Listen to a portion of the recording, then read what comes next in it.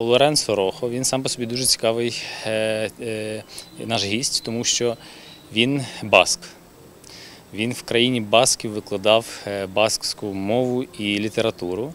І в віці 35 років, так би мовити, вирішив змінити своє життя і сісти на велосипед. На сьогоднішній момент він проїхав 200 тисяч кілометрів